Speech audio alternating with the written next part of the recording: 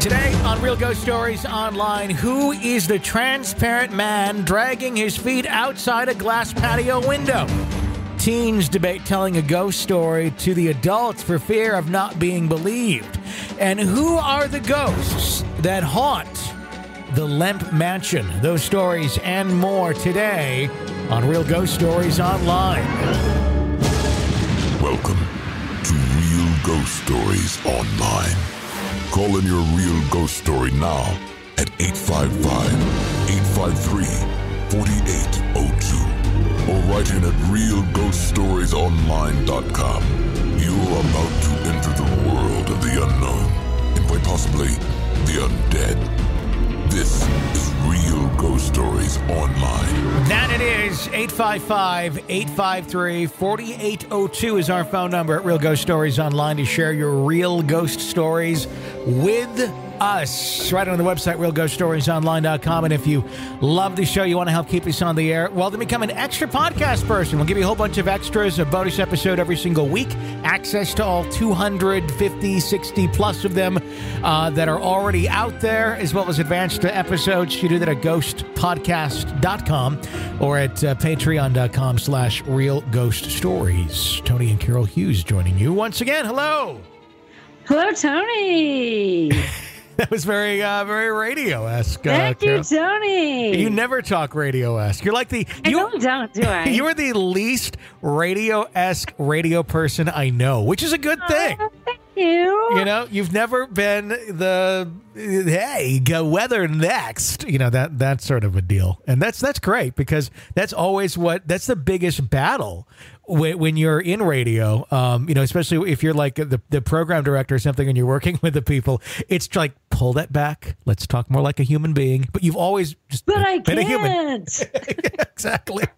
What, what's the funniest part is when you have the program director, the boss, that is trying to coach you into talking less radio-y, and they are the most radio-y person on the air. I've had that multiple times. We, yeah, we Yeah. know those people. I was like, literally, it sounded like he plugged his nose every time he went on the air. It's like, hey, everybody, coming up after the hour, we got some great hits coming up. It's just like, are you serious? Then you're going to tell me how to talk on the air? Really? Anyhow, yeah. good times. Ah, so well, anyhow. in other news, my cat's chewing on, kind of chewing on my dog's bone, which is really weird. Is, there, is like- the cat identifying as a dog?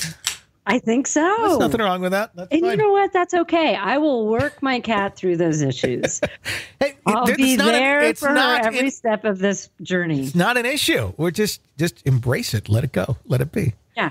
And It's like, uh, you know what? Whatever we have to do, I'm going to help you with those take the cat to the dog park. or dog moans, whatever it is. It'll work out. It'll work out lovely. Uh, just teach it how to bark, and we'll be all. That'll be that'll be exciting. Take the cat to the dog park, and the the cat starts barking. Now that would be exciting. that's that's a YouTube video right there that would get a lot of uh, a lot of hits. So The other day, I was in the backyard, and Buddy, like, he just has these little chew sticks, and they've got like treats on them. That's why the cat's all about it. But Buddy had one in the backyard, and this crow comes down and took it. Like it was next to Buddy, and the crow comes close, and the next thing you know, I see it flying off with my dog's bone. crows are It must be intelligent. really delicious. crows are they're like little dinosaur birds that are like they I've I've read stuff about like studies that have been done on them and they're like one of the most intelligent birds there are. Like they they can like conversate with one another. They can like I I I don't have it in front of me but it's just spooky how intelligent they are and how they can communicate with one another.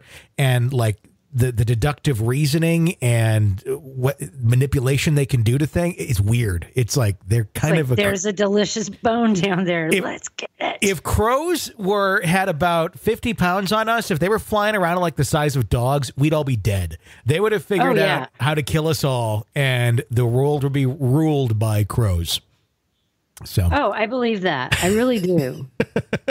Because crows are the, you know, they're eating something in the road and they're like, what? You go around me. Exactly. They're like fuck you we've survived as a species forever you're all gonna kill yourselves pretty soon so Yeah. I'm having lunch. i'll be feasting on your corpse next and then they just laugh and cackle at you and you kind of shiver and drive away. So there you go. Think about that, kids. Uh, 855 853 4802 is our phone number at Real Ghost Stories Online. We'll jump into uh, our first story here. And then after that, I want to talk about another live date that uh, is coming up. For the day that this airs uh, will be right after our first appearance uh, at uh, the Crescent Hotel in uh, Eureka Springs, Arkansas. But I am going to be at another location uh, the 24th, I believe. Let me just take a look at the calendar. Yes, of August. Uh, and I'll tell you where in the world I will be uh, with Carmen Sandiego uh, in just a moment. Uh, but first, our, our first ghost story uh, of the day. Which is my uh, guys. My name's Jessica. I'm from Orange, California. The story I have for you today is not mine personally, but my mother-in-law's. Tragically, about one year ago, one of our neighbors took his life in the garage. We live in an apartment complex, and the garage where this man took his life is directly behind our apartment. An essential factor to note is that my mother-in-law and father-in-law sleep in separate beds in the living room.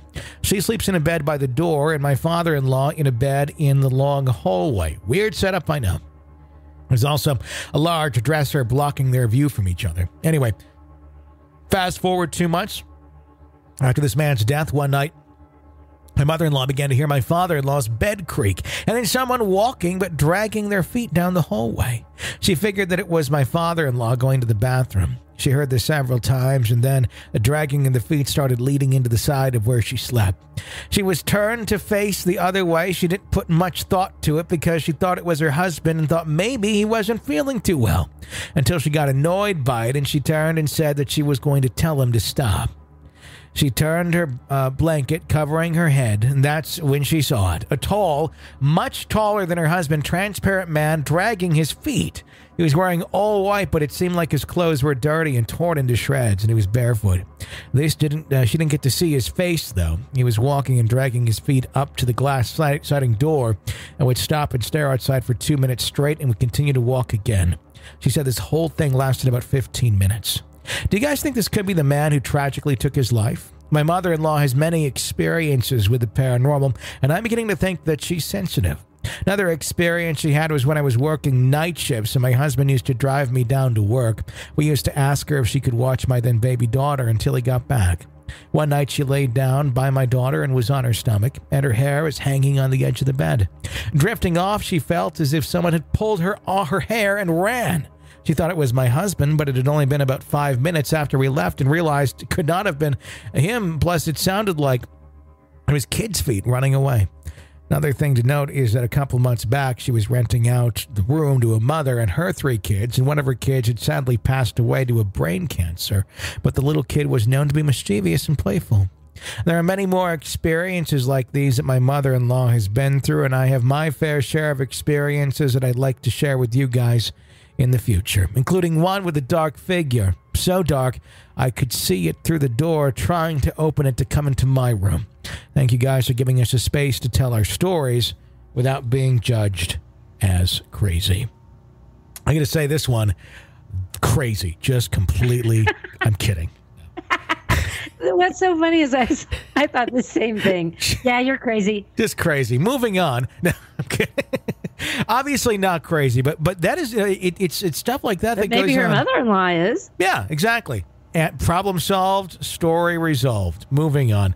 Uh, it's it's one of those things where you have those deaths that are surrounding um, that that house and, and and the mother-in-law. I mean, it's not that she's causing the deaths, but but she's around it. Um, so you do have to wonder, you know, is is it these people who have passed on that are, are causing these things to happen.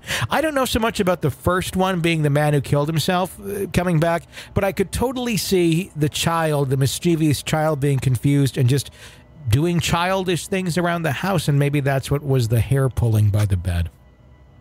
I mean, why not the guy who killed himself? Could be. I mean, I, I don't know. you know, there's what- something. for whatever and the guy reason, killed I just, himself. I just didn't. I don't know. I don't know why I felt like it maybe wasn't. I don't know, but I, I felt much more. There was more identifiable properties to the child than the the other gentleman. And when you only hear that much of the story, like, okay, so a guy died in the house, then somebody heard footsteps, leg dragging. Uh-huh. So then, if that's what you know about the story, then you go, yeah, Mhm. suicidal guy. But there could be something else. just because you have those two things happen doesn't necessarily mean they're connected. Exactly. Seems like they would be connected, but if she has those experiences and has had them throughout her life, could be any number of things. It is, and there, there's a lot of uh, a lot of possibilities there. It's easy to assume uh, the answers uh, just because of someone dying nearby, but that's not always um, exactly what it is. So, thank you for sharing that uh, that story with us. Do appreciate it. Now she needs to write back with her own stuff. Yeah, we want to hear that. So please do write back in with that. Coming up on August 24th, I will be uh, with the podcast uh, Hillbilly Horror Stories uh, in Lexington, Kentucky. Yeah, that's going to be uh, a fun show. We're going to be at. Is that a ghost story thing, or are you just talking about hillbillies no? I'm just gonna just rounding up some just rounding up some hillbillies and uh, and and we're just gonna you know put them into a steakhouse and we're all just gonna tell ghost stories. No, it's it's another podcast. In fact, it's uh, it's uh, it's two folks, a husband and wife, Team Jerry and Tracy, who actually were listeners to this show uh, to begin with, uh, and they would write in uh, and call in quite a bit, and then they decided to start their own podcast um, several years ago, and it turned out to be a great deal for them too. And they have their own successful podcast uh, that they they do their live dates and everything as well, and it's actually going to be their birthday show um, on August 24th uh, from 7 to 11, Columbia Steakhouse in Lexington. Uh, tickets uh, you can get them. Uh, there's a link on our website at Real Ghost Stories Online. Just go to the what is it live? What did I name the link on our website? I should- mean, live does seem to make some sense there. that would make sense. Uh, da, da, da. Tour dates. Uh, click on tour dates up on the very top of the page, and you will find the link right there. Tickets for that show are fifteen dollars a piece, and uh, Lexington, Kentucky. So it should be a fun night, seven to That'll be eleven. fun. Yeah, it'll be. We'll do uh, an episode of uh, Real Ghost Stories online, kind of a Q and A type deal, sort of like what I'm gonna do with the Crescent, um, where it's in in uh, in the restaurant in the the room we're in. Everybody's sharing their story and chatting. with all of the hillbillies. Exactly, and uh, and then they're going to do an episode of their show together. Uh, so it'll be a fun night um, for their birthday show. Um, uh, so if you want to go and see me, I'll be in that part of the uh, the country, uh, August twenty fourth, which uh, when this is airing, not far away. So.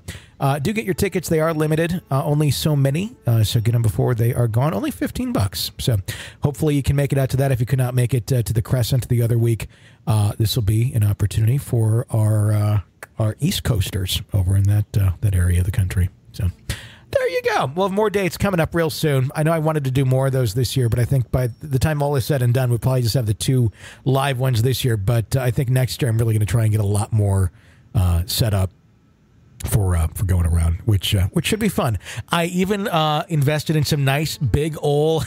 It's funny. It take it took me twenty years or more of working in uh, in in media to actually invest in like uh, speakers for an event. I've, I've never had like DJ speakers or anything.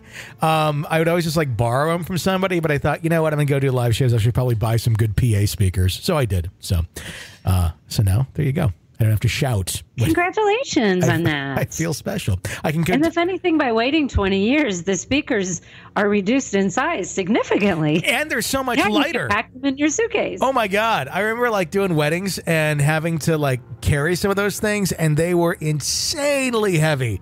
Now they're And really light. Yeah, exactly. So I can also uh, DJ uh, quinceañeras and uh, bar mitzvahs as well, uh, and we'll play pretty much a lot of uh, like Aaron Neville and uh, Michael Bolton. Michael Bolton, and some Kenny, Michael McDonald, of Mi- course. Kenny G and a little Rod Stewart. So hopefully you like those. We'll have those five artists rotating all night long at your quinceañera party. Hope you like it. It'll be a great time. Uh, 855-853-4802 is our phone number at Real Ghost Stories Online. Let's go to our next letter. It says, my name's Cole. I'm a new listener to the podcast. My friend has been telling me to listen to y'all and share my stories with you for a long time, so I think I will. Ever since the events that I'm about to tell you happened to me, I've been very interested in the unknown and the supernatural. My story is long. It begins with a wedding. Not my wedding. My brother Chris and his girlfriend Stephanie of seven years. They just bought a house together, lived in it for a while, and were ready to take their relationship to the next level. But before they did that, they were going to go on their honeymoon and needed someone to watch their house and their newly adopted puppy, Louie. As best man and 17 years old, going on 18 year old kid in my senior year of high school with an opportunity to have a place of my own, do whatever I wanted to do for two weeks, I humbly offered to house sit for them while they were gone. So the day came, Chris and Steph went on their cruise to the Bahamas, and I was given the key to my private residence the next two weeks. I helped them move in when they bought the place and visited a few times, so I've seen and gotten familiar with the house. It was an old house built in the early 1900s. It had tall ceilings, hardwood floors, and every room had old aged feel about it, except for the room that had been added on later that my brother had made his music room, where he kept all his instruments, including his guitars, drum set, and electric keyboard.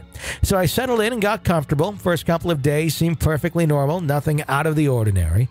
I go to school, come back, hang out with Louie, play video games, or watch a movie. One day I came home, sat down with Lou like I usually did, and watched a TV show when suddenly the hair on Louie's back stood up as he stood up and stared furiously, barking and growling at the corner of the room where a closet door was located. Lou's snarling lasted for at least a minute, then, just as suddenly as it came, he was fine again, wagging his tail in happiness like usual. I sat on the couch, puzzled for a while. I've always been a believer in the supernatural, but I've also viewed everything with a high sense of skepticism. So I called it up to Lou, freaking out over nothing. He was new to the family. I didn't know if he was just weird like that. I didn't really known him that long. It still freaked me out. Over the next few days, some strange things would happen, like the TV and the Xbox turning off and on on their own. I tried not to think much of it. One day I was in the kitchen making my dinner, being watched by Louis, hoping to get a scrap of food, when again the hair on the back stood up of the dog and he started to growl. He ran back into the living room and started barking viciously. I walked swiftly into the living room after him to find him barking at the same corner of the room where the closet was located. A chill went down my spine as I stared into the corner at nothing. The dog was fiercely barking at. Then again, it suddenly as it came, it went. Lou was fine, like nothing had happened. Apprehensively, I walked to the closet door and opened it. There was nothing in it but empty shelves and my brother's vacuum cleaner. I felt a sense of discomfort as I looked towards the top of the closet to see an access way to what appeared to be an attic, some kind of door on the roof. I never built up enough courage to open it enough uh, to open it to see what was inside. It was then I was beginning to see there was something off about this house. That night, I put Lou in his kennel and went to bed like I had done for almost a week now. I lied in bed, thinking about what had happened today when I heard a strange sound. Like the sound of a piano key, just one, over and over in a slow, slightly off pattern. The sound didn't last long, only a couple of minutes. I lied there wondering what it could possibly be when it dawned on me. The sound was coming from the direction of my brother's music room where he kept his instruments, one of them being his electric keyboard. The realization paralyzed me. I could not force myself to get up and check out the sound myself to confirm my theory. I lied awake in bed for most of the night with my head under the covers like a child. I started to hear voices outside my window that were muffled. I could not hear what the words were that were being spoken, but the only way I could describe them was as if they were coming from the front porch but were very quiet. I told myself it was the neighbors, and in all fairness, I could have been it could have been, but it did not sound like it to me. I finally fell asleep eventually. After that, I didn't sleep in that house alone again, except for the night before my brother and his wife returned, so I could let them in and make sure everything was exactly the way they left it. Ended up falling asleep on the couch, cuddled up with Louie. Nothing weird happened that night. Next morning was a different story. My brother and his new wife returned in the early morning. Steph went straight to bed, and Chris started to get ready for work. It was early, and I was terrified, so I lied back on the couch. Every once in a while, I'd open my eyes slightly to see into their room while Chris was getting ready. Chris then exited the room to go into the kitchen to make his coffee when I noticed something. It was hard to see, but the best I can describe it as was a dark doorway with a darker figure of what looked like a very tall person leaning in the doorway, looking into the living room, into the manifest out of nothing. Sent a chill down my spine and woke me up right away. I stared at the doorway trying to make sense of what I was seeing, thinking it may be my eyes playing tricks on me, but it didn't go away. It even seemed to be moving slightly. Chris came back from the kitchen and walked through the doorway I was staring at, and the figure disappeared before he walked through the threshold, almost as if it was moving out of the way and hiding. Chris walked to the left side of the room and turned on the table lamp to finish getting ready. And as he was standing there, I saw a black shadow on the back wall dart from the right side of the room to the side of the room my brother was on. At that moment, I knew I couldn't stay there anymore. I got up, pretending that I was uncomfortable on the couch. I'm going to go ahead and go, I said, trying to act cool like nothing was going on. My brother replied, Are you sure you can, can you can stay if you want? You don't have to leave just because I'm leaving. No, I'm good, I said as I walked towards the door. I did not tell my brother what I experienced in his house until a few weeks after they were back.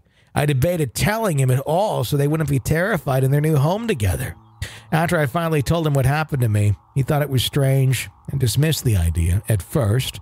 He later told me about some things that had happened to him that he couldn't quite explain, but I think I'll save that for another time. Thanks for reading my story. I know it was a long one. There's a lot more tales I'd like to share from that house of the experiences of mine. Until then, have a nice day. Go house sitting excitement. You said that in such a creepy voice. Have a nice day. Have a nice day. Have a nice Like day. that kind of would freak me out. Like you buy that haunted house, now you're stuck with it. Yeah. Like because you can't just sell a house immediately or you're going to lose your ass on it. Mhm. Like ah, and so you wouldn't want to say, "Oh yeah, you know, the house you just bought and put in everything you have into this house uh, is kind of haunted." Like, oh, that's horrible. Would you tell if you were in that situation? Would you tell a loved one that their house is haunted as shit? If they were unaware Hell of yes, it yet? I would. of course, I would. Great house. By the way, haunted as shit. Have fun. See you later. It's been a great one. Do you feel that? Did you see that? Well, my sister, just Kathy, you know her, Yeah. she just moved into a new house. Okay. And so I went there, and it's a nice house. And I'm like, you know, it feels comfortable there. I just hung out for a couple hours. I took my mom there for a few days and left her. And so I come back home, and The way you said it was just like put her up on the side of the road and went along my way to the IHOP. okay, well, I stayed a little bit longer than that. But um, so Kathy then tells me like the next week she goes, yeah, so I've kind of been seeing something in my house. And she said, I've seen it twice. And she's like, it scared me so much that it made me jump both times. And I'm like, I can never now stay at your house. like, I wish, I kind of wish I didn't know that information. mm-hmm. Because how can you ever fall asleep knowing that something could scare you at any moment? Yeah. And I feel bad for her. She just moved in. Like, that would suck. Her previous homes that she's been in throughout her life as an adult, has she, has she had stuff? about. Every place she mm-hmm. has ever lived has had things happen. And seriously, every single place she has lived. Yeah. What I'm wondering about on that is is this something where it's you know she's able to pick up on all these things and is more sensitive than other people uh, whi- which may be a, a big component of this but is this the same things or are these some of the same things going all the way back to the house you guys grew up in that have never really left her side Could be. they said hey we like you we're gonna we're just gonna keep tagging along wherever you go Yeah. And, and Kathy is the one that went back to that house Okay. we lived in. yeah which I think is weird. And I told her that too. I'm like, why? Why would you ever do that? And she goes, I just couldn't help myself. Like she was so drawn to go back there that she went up and knocked on a total stranger's door to say, Hey, I used to live here. What did I they look at it? What did they say? They let her in. Did we talk about this part already, where she came I went back to it? I think- I think we did. okay. But yeah, so they let her in, and the weird thing was, they were like, "No, it's not haunted. It's not haunted." But like, there was crucifixes and crosses everywhere, Okay. and she said there was one wall that was literally covered. She said there had to be like a hundred of them on one wall. Like, who does that? I don't know that we talked He- about this part Catholics, of this. some Catholics, maybe. Yeah. But even that's extreme. Yeah, that would be a giant. So, well, I guess my question initially is: so she knocks on the door. Hi, I grew up here. You live here now. It was haunted as shit back then. Is it still haunted? I mean, is that how the conversation It went? kind of did. Oh my god, that's like that would make me want to shut the door. haunted thing right off. Okay. I think it went more like, "Hey, like I used to live here when I was a kid. It's been remodeled. It, do you mind if I look at it?" And then as they were looking around, she's like, "Do you feel like anybody is here?" Ah, okay. Yeah. Now, when I went back after they, because it's been remodeled a few times, like, and I'm not talking just like they put in new flooring, like Mm-hmm. they totally changed this house. Like, it doesn't look anything like it did when I was a kid Yeah. and lived there. Like, I would drive. I actually, when she showed me pictures of it, it didn't even look like. I can't even recognize it as where I lived. Okay. That's how much they've changed the house. Wow. and they've taken porches off and moved porches and like stuff big big stuff. But the when i first moved away and i went back the next summer um, we went over to look at it. And the guy working on it asked me if weird things happened when i lived there. And i'm like yes sir. Yes. And that's about it. i didn't want to hear it you know i was 13 i'm like i don't Yeah. really want to know your scary stories Yeah. but but Kathy, like, it, there's no way. I think in all these years I've driven by it one time. I don't even know if I drove by it. You'd have to. I, I wonder about that. I wonder. Does she have anything? Any identifying features on on these things that she's experienced in the homes over the course of her life to to give them an identity to go? Oh, yes, this is the same one that's been following I you don't forever. think so. I don't think so. Okay. And like some of them, you know, that um, like my nephew ended up living in an apartment she used to live in, and he had stuff happen to him. Okay. So I think that was definitely haunted. Is still Yeah. definitely haunted. But, you know, like just everywhere she moves, she has something. haunted life. I think it's one of those things when you have that sensitivity, you, you can't get away from it because even if the things you have that were around you are no longer following you, you're just going to naturally run into other. It's like it's like trying to avoid people. You know, you you really can't do that. No matter where you go, there's going to at least be a couple somewhere that you're going well, like to run the first into. story today that we were talking about. Yeah. That the girl's mother-in-law, which maybe is my um, niece-in-law. maybe it was Brittany who wrote him. I don't know. You never know. but um, but you know that was the same thing with that woman. Yeah. So I just think that there are people that are attracted to people like Kathy. Mhm. Or me. I mean, I have had a lot of weird stuff, Sure. but not like Kathy. Yeah. We need to do another episode about her her, all of the places she lived. It'd be fun. It'd be very interesting to go Okay, through that. I'll ask her. And our uh, our audience, if you want to to reference more of that in depth story, that was on our. That was that was well. It's further back than Halloween last year. Was you're talking about um, the boyfriend that you had? Yeah. Um, but you and Kathy would have been like, gosh, that's more than a year ago. Probably a year ago, April or May. Yeah, so yeah, like Probably 2018, April or Yeah, May. right around there somewhere. Look back on our uh, our archive and you can find it.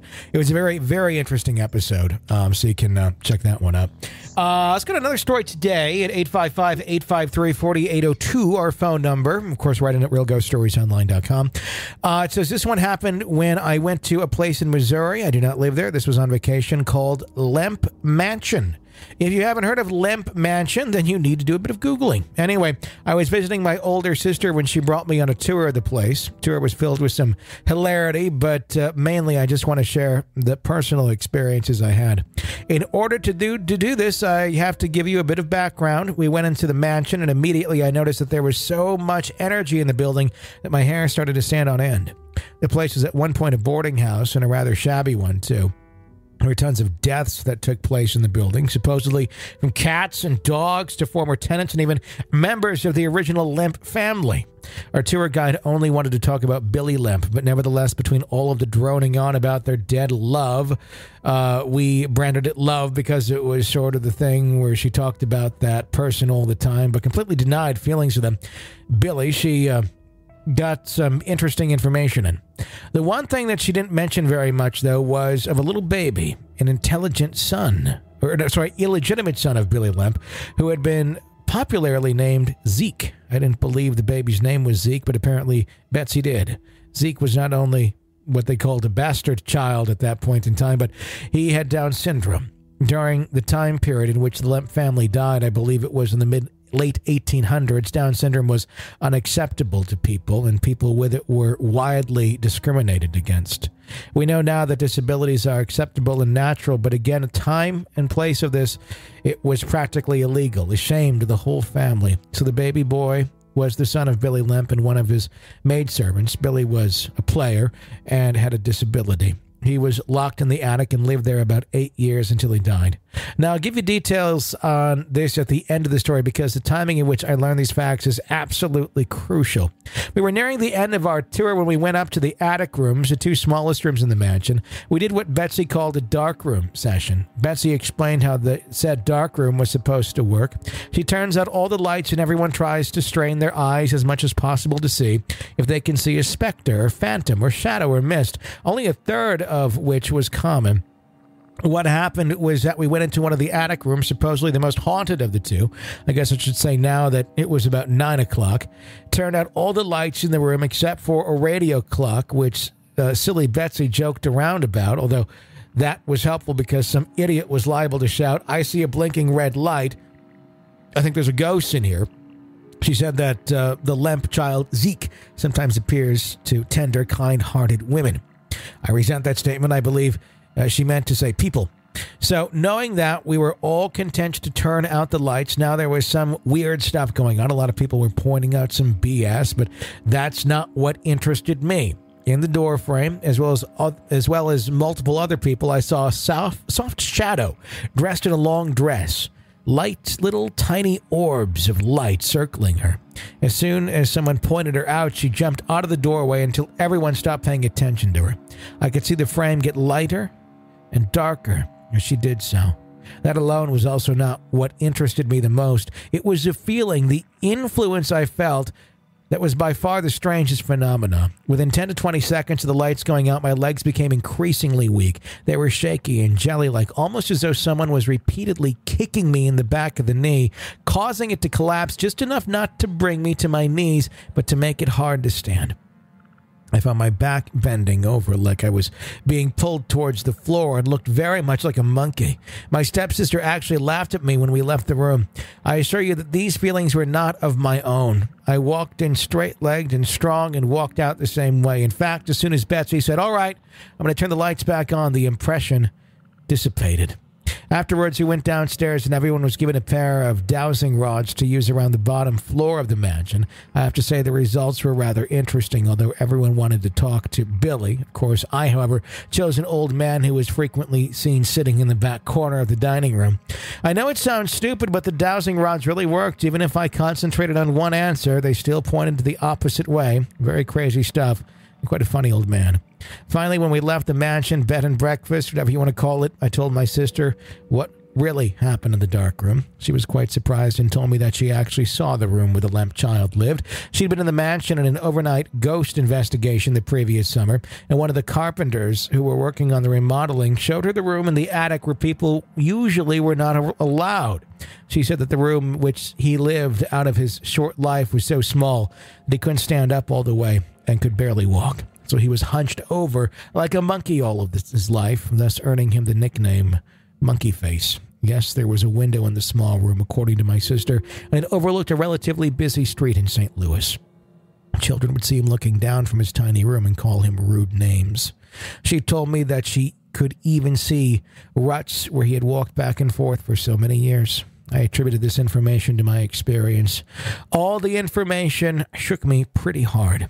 So that's my biggest experience. It was definitely weird, but not scary. I was at peace, just weak during those 10 minutes in the dark room. If anyone has any questions, I'd love to hear them uh, or thoughts on this story. So, overall, very sad story, a very tragic story of the Lemp Mansion. How do you spell that? Lemp, L E M P. L E M P? Yep. It's, uh. I ain't never going to go there. Yeah, it's it's funny because um, I there's there's two versions of Lemp Mansion in St. Louis. Um, St. Louis, there is this this this place that she's talking about, which does ghost tours. I don't know if it's a bed and breakfast anymore or what it is, um, but I know they do tours and such. I had um, some of the curators or investigators on with it uh, on the other show, The Grave Talks, recently in the last year, and uh, I couldn't tell you the details of the conversation because it's been a while since we recorded it. Uh, but that's over on The Grave Talks if you want to learn a lot more about the Lemp Mansion and get a full hour on it. Um, but I uh, there's also in this last year I've had some interaction with the other version of the Lemp Mansion, which is a uh, a brewery and a a faux haunted house uh, in Halloween season. Um, that is, it's all kind of connected in that area. It's two separate businesses, but um, they actually, you know, they put on the spooky haunted house, and I actually do the voiceover on the commercials for that uh, oh. that haunted house. So I could probably finally see if I can find it here. Uh, if I pull well, it up. And I just Googled it. Like it totally looks like a creepy place. Oh yeah. It's uh, it's an interesting uh, interesting story. I did not go there. I should have gone there when I was in uh, in St. Louis a couple. Uh, well, it's been several months now, uh, but there was stuff going on. I know the the faux one, the the one that is the uh, you know the commercial haunted house, if you will. But I did not visit the actual uh, location itself. Know, places questions like and answers. It says, "Are kids welcome?" Very kid friendly. like really? What haunted house isn't kid friendly? You know? I don't know. Like I'm fascinated by stories like that. Uh, in homes you can actually tour, and especially now looking at pictures of it, like I I would definitely do the tour during the day. I don't want to do a nighttime tour. I don't want to go in the attic, especially yeah. now that I heard that. but it's fascinating. I'm going to read this, about this later. Here's a little uh, clip of the fake one that I did. Uh... Those that practice the occult know that underground, no one can hear you scream. Deep below the Lemp Brewery, cries for help will never be heard. Demonic rituals, the conjuring of demons, and unthinkable witchcraft are just below your feet, deep underground at House of the Occult. St. Louis's only all-new haunted house at Lemp Brewery. The Lemp Haunted House is now longer, scarier, and more horrific than ever before. So yeah, so that's uh, some of that. That was you. That's me, by the way. With some cool effects on your voice. A lot of processing. But yeah, I pitch it down quite a bit, and then you know produce all the effects and everything around it. So that is like one of those places they just turn into a haunted house. Yeah, yeah it's and it's there's the mansion that person tours. Yeah, it's, it's one of those where they're they're playing on the the real okay. history um, with you know a fake haunted house. I mean, you can clearly go to the haunted this this one and, and have fun and, and get scared, but then there's the real one, which is a totally separate business, is not the one you just heard that commercial for, um, and that's that's the one where they they do legitimate you know ghost investigation type style things. Um, so it can be because I, I was wondering too myself when I when I interviewed the folks. I said, "Are you like how what's your connection to the haunted house one, like the the commercial one? It's like completely separate. Like, okay, cool, whatever. So anyway. Good times. So that's a whole story in St. Louis, then. Obviously, everybody must mm-hmm. know about it. It is. I believe it's one of the most haunted locations in St. Louis. I mean, if you're there, if you live there, it's it's probably one of those places you grew up hearing about as the old Lemp Mansion. Um, and I've, I, I, just think by mere proximity now to St. Louis, where I am, I've been hearing more and more about it from local. Like, have you heard about the Lemp, you know, match? Like, no, I haven't, but I, I have obviously now in the last year or two. So that I, I'm fascinated by that story. A lot of it's a very interesting uh, family saga that has uh, there's a lot of things with that. I'll send you the link to the interview too, so you can take a listen. Okay. Because um, the thing is about that story too, like you know, there's so many ghost tours and you know places that you can tour that mm-hmm. are supposedly haunted, but you don't normally get an experience like that person got. No. Like my knees gave out. I'm turning into monkey boy. Like lights come on, I'm fine. Yeah You know, that is creepy. The most you'll usually get is, you know, oh, I felt a chill or something, you know, Yeah. of that nature. It's And rare to. dowsing, douse, dowsing rods, is that what it yeah, was? yeah, dowsing rods. Because those are usually used for looking for water. That's the original purpose, yes, but people And now you can in. find ghosts with it. Well, that's been that's like one of the original ghost hunting tools. Uh, so that that goes back before EVPs and everything. People used dowsing rods uh, for that when that kind of started to become more and more of a thing. So now you know. Just in case you want to go ghost Shit, hunting. I'm going to be like, I'm going to skip that part. Don't take me to the attic or the basement. I can do the rest of it. There's a lot of ghost hunters that, that do not believe in the dowsing rods. Some swear by them as uh, being very accurate. You know, it's kind of to each their own with it when it comes to equipment and stuff. And I'm not a expert in ghost hunting by any means to say this works or that doesn't work. But anyway. And then, like, who's to say? Maybe there is water there. Mm-hmm. It's uh, it's uh, it's one of those things. So it's uh, interesting place with a lot of history. I'm just looking back, and uh, the Lemp Mansion. Uh, uh, we're on the Grave Talks uh, earlier in the year, I believe it was published, from what I can see. So lots of interesting stories. Okay, I got to uh, listen to that. about that place. And that'll wrap up today's episode of Real Ghost Stories Online. If you like the show, keep us on the air. Become an EPP, an extra podcast person. Ghostpodcast.com or uh, patreon.com slash real ghost stories. Get those tickets for the uh, live show with Hillbilly Horror Stories, uh, August 24th, Columbia Steakhouse in Lexington. Uh, go to uh, tour dates at realghoststoriesonline.com. Until next time, Carol Hughes and Tony Brueski, thanks for listening to Real Ghost Stories Online.